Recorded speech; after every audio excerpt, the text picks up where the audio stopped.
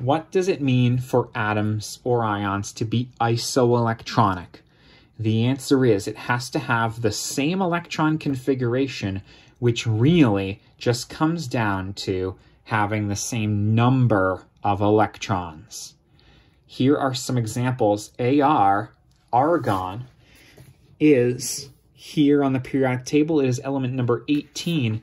It itself, when it is neutral, has 18 electrons.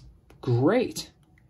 Now, if you were to write out the electron configuration for that, it'd be 1s2, 2s2, 2p6, 3s2, 3p6. I'm going to draw that here just to make a quick point, but I won't belabor that too much through the rest of the video.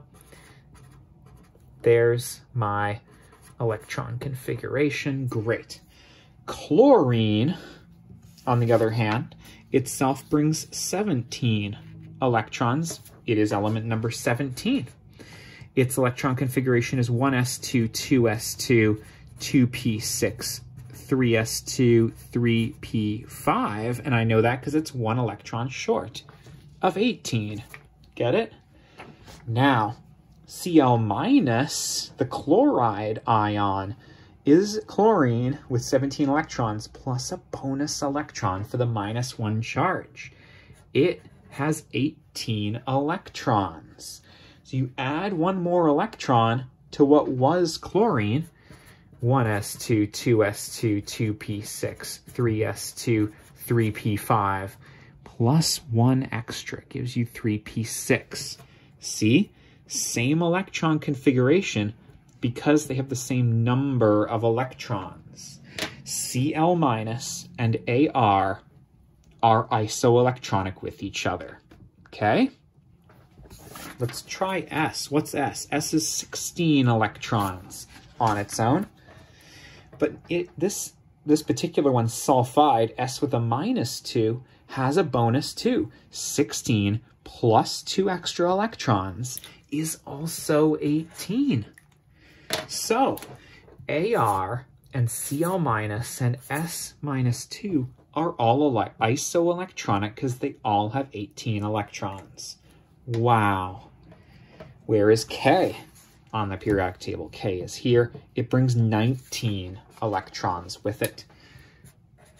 If I was to draw its electron configuration, I'd have 1s2, 2s2, 2p6, 3s2, 3p6, and one extra electron in my 4s.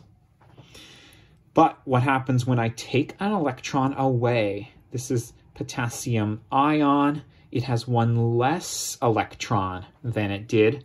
When you take one away, you are down to 18.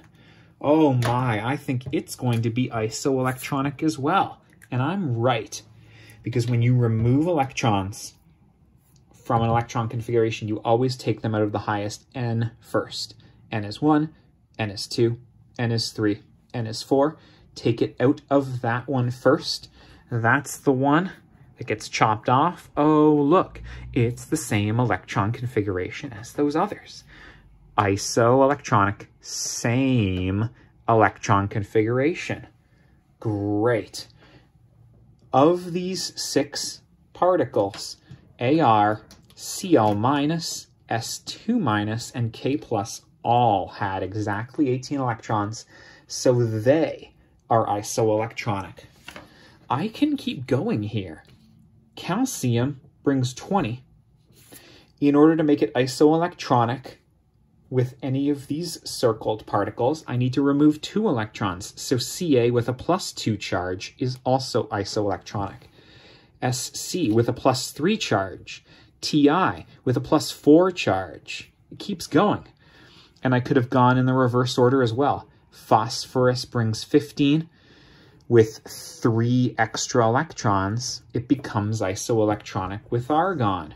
P3 minus is also isoelectronic with all four of those circled ones. Get it? Got it? Good. You got questions? Ask them in the uh, comments. And uh, thanks for sticking with me. Best of luck.